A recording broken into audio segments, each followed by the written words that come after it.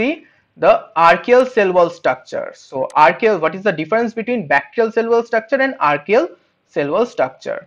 So we have seen that bacterial cell wall structure is made up of peptidoglycan layer, but the archaeal cell wall structure is made up of pseudomurein.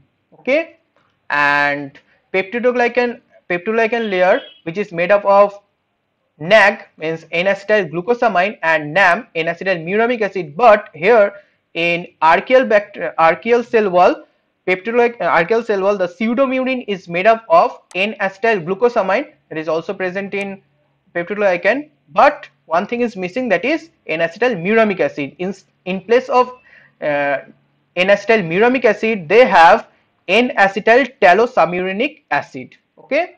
And another difference is in gram in uh, peptidoglycan layer the NAG and NAM are bound to each other by beta 1,4 linkage. But here the uh, pseudomurein here the pseudomurein and the N-acetyl glucosamine and N-acetyl talosaminuronic acid are bound with each other by beta 1,3 glycosidic bond.